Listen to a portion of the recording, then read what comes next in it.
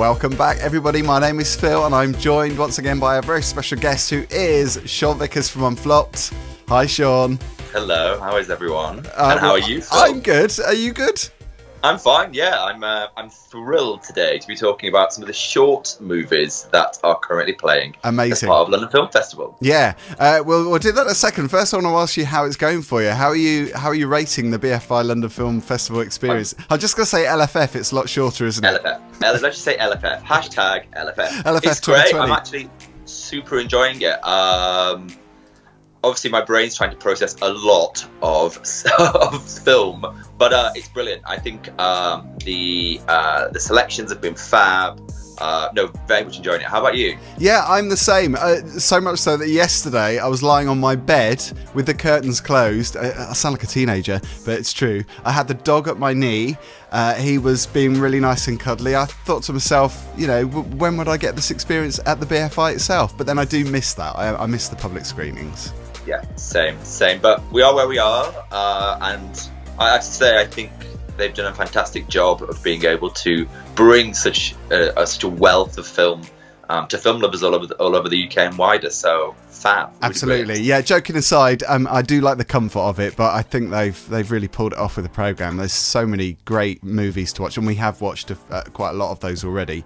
So yeah. check some of the other previous reviews out. But I'm really interested to hear what you think of the shorts, though, because I haven't actually touched on the shorts yet. I'm hoping to do that over the weekend.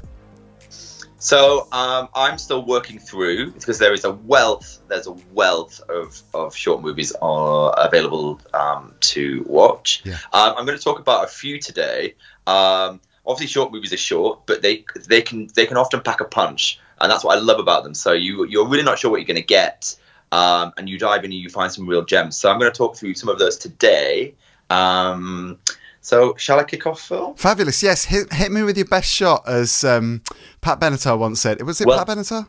Pat Benatar, I think that, but that's a really good tie-in to my first film, which is Shuttlecock. Oh, hit me with your shuttlecock, um, which is a film directed by Tommy Gillard, and it's set in the homoerotic world of charity badminton. I love this. I love the the setup for this. I'm intrigued already. yeah. So it basically is a short film which follows initially the life of Carl, who is this kind of alpha male badminton player in kind of a, a charity hall. Uh, sorry, like a community hall, and they're doing a charity event, and he's like the kingpin of the gang, um, and he always wins all the tournaments. And then out of nowhere, this chap called Morgan appears, who's almost like the opposite to him in every way. He's not showy. He's quite diminutive and it basically plays into the what will lead into those two of them playing um, uh, a badminton game. But what's so brilliant is how it's filmed. So it's this kind of like male gaze homoerotic story. It starts with kind of sweat dripping off a shuttlecock, and oh. that kind of sets the entire tone for it. Uh, it's one of my favourites so far. I think it's really well done. Uh, the acting is brilliant. Of course, a short film, but uh, yeah, that's one I would say to watch. Shuttlecock sounds really good. I've got to say hello to Simeon Costello, who sent us a message actually saying, uh, "Are you going to be seeing it?" Because I'd really love to hear your opinions on it, and I'm sure that he's going to be thrilled by your response to that. I've got a funny story also about shuttlecocks. Go uh, on. I went to see Wham in the '80s, at Cornwall Coliseum in St Austell in Cornwall, and they were putting shuttlecocks down their shorts and throwing them out into the crowd. Actually, not a surprise. Yeah. Not a surprise, not a surprise. Well, absolutely. I, I remember as a 14 year old, 15 year old at the time, uh, being quite aroused by that. I'm not. No, I don't mean aroused as it that that's lowering the tone completely. I know, but I Careful, got quite excited by this. But there were no other boys in the audience. It was just all women screaming, screaming their heads off and quite wow. rightly so. Yeah, we've gone off on a tangent, haven't we? But that, but I think that's that perfectly sums up Shuttlecock. uh, so that is one of my definite thumbs up of the short. So get into Shuttlecock. Another one of my favourites is a film called Passage, um, directed by Anne Oren. Now this is it goes in an entirely different tangent. So it's part of the speculative features, and it starts with um, the queer um, performer and artist. I'm going to have to read this because I don't want to get it wrong. Yeah. Simone Jaikiriuma Paetau. I'm glad and you did that, actually. Not me. Welcome. I probably got it wrong. Don't at me, anyone. Um, and um, it it starts with um, a horse on a screen, and then it cuts to Simone, who is creating the sounds. Uh, there's a name for it, but basically they're doing the sound effects for the horse cantering, and they've got kind of like coconut shells, and they're moving around. But gradually, it moves into a, piece of performance where Simone is wearing a horse tail and basically moving around and performing like a horse. It is really quite stunning. It's beautifully filmed and is yeah, it it was fab. It was pure escapism, and I thought it was it was actually very powerful and lovely. So another big thumb up for me. Passage. That's what we need at the moment as well, isn't it? Pure escapism. I love it. That that's going on the billboard poster.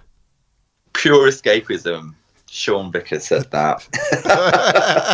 yeah, we won't quote what I said about the previous film. that could be something else completely. Yeah, something for another video, maybe. It. Definitely keep that in. Um, next, I'm going to go to something a bit darker, uh, and it's a film. It's a short film called Buck. It's by the director is Elegance Bratton, and it follows the story of Lynn, who is uh, a young black guy um, who is on the I don't know. He's in this exploratory world of kind of hedonism and um, self discovery, and someone who self identifies as being kind of a, a depressed, and how he explores the kind of like queer underworld uh, and quite sinister queer underworld as a way of escapism. Again, incredibly, and I say powerful a lot on this show, powerful. um, it's a good word, though, isn't it? It is, but I mean, again, it's it's a very short piece of film, but really about him finding his way. Yeah, how he delves into kind of the dark underworld of kind of sex parties and whatnot as a way of trying to find some form of some some kind of path or some kind of uh, journey through his depression. Has it stayed with uh, you? Is this something that you saw recently? Was yeah, it yesterday? Absolutely. Saw it very recently. Saw it this week absolutely stayed with me. It's so honestly acted, you know, and it's believable. Let's put it that way. The way the way he explores this world and the world that we know is is very very well portrayed. Um, so another one that I would recommend. Very different tone um, to the previous two, but something a bit heavier. Um, but but again, powerful.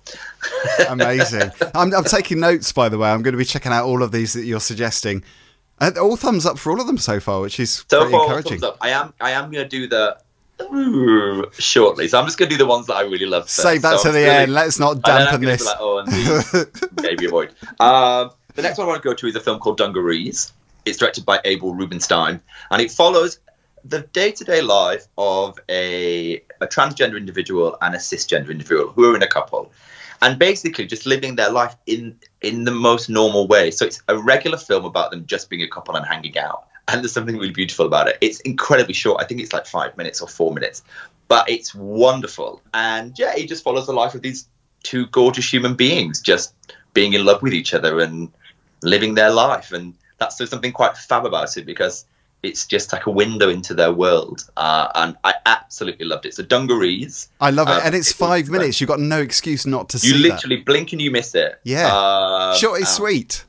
It's it's short and sweet, exactly. Uh, but I loved it. It's one of one of my favorites. So it's definitely up there with the others. So those four, uh, and there's one more that I really love, which I want to talk about, which is called The Name of the Sun. It's a family on a beach and it's a father and his uh, son and daughter.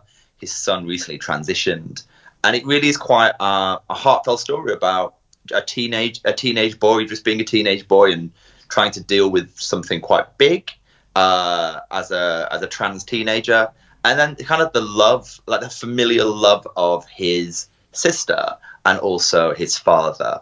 Uh, which is absolutely beautiful. Sounds really um, poignant. So... And, and, these are the sort of films that would do really well at the BFI Flare Festival as well. It's really nice to see that reflected in the London Film Festival. Yeah, exactly. Those, the last three, maybe I mentioned, yeah, Buck, Dungarees, and The Name of the Sun absolutely would do very well at Flare. And Shuttlecock as well. And actually, and Shuttlecock, you're right. Um, there's a theme about the, there's a theme about the short films that I watch. Maybe you've worked it out. Um, but certainly, I think Buck, and I didn't mention this earlier, is one of those shorts that could become a feature.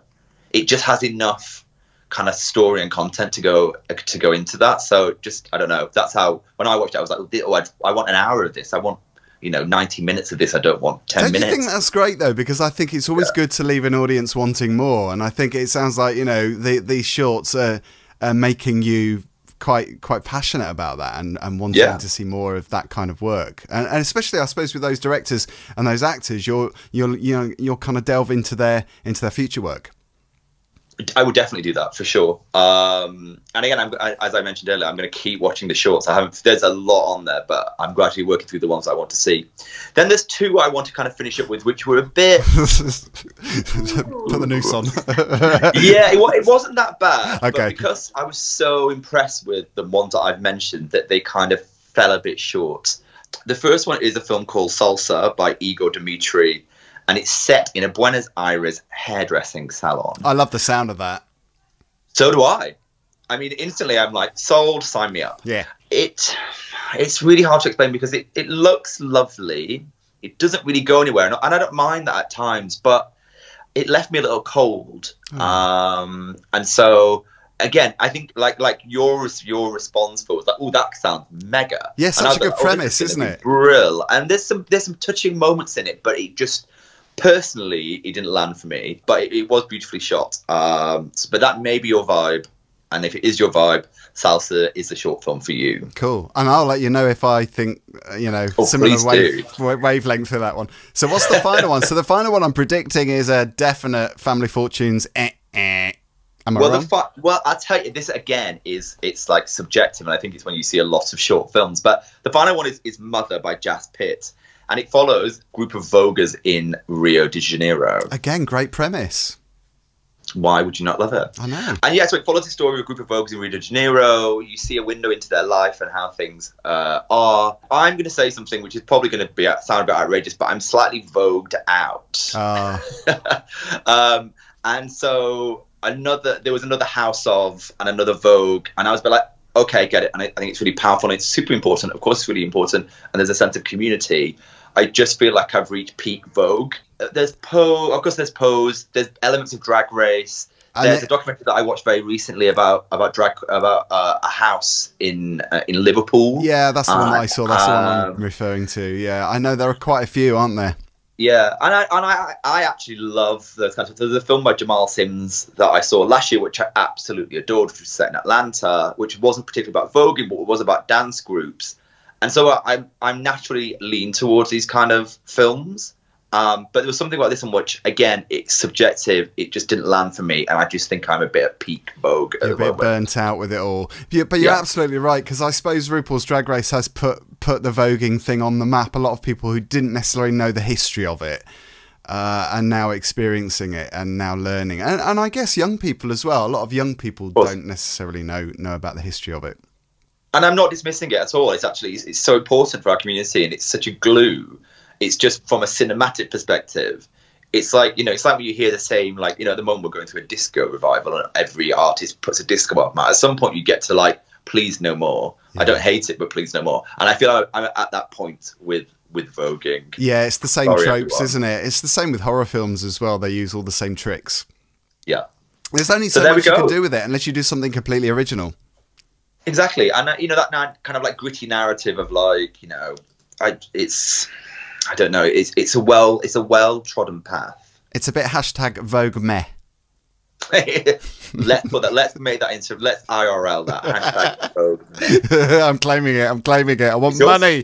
That's it, yours. Um, so yeah, so they're my they're my current seven shorts. Uh, there will be more to come. Uh, but um, yeah, the initial five that I mentioned. You know, if you've got an hour in your day, you can see five juicy, gorgeous piece of the film. Fabulous. It's always good to see you, Sean. I can't wait for the next one. And you're going to be back soon because you've got lots more in the can. Very soon. It's overflowing. see you soon. Thanks for watching, you soon. everybody. Don't forget to subscribe.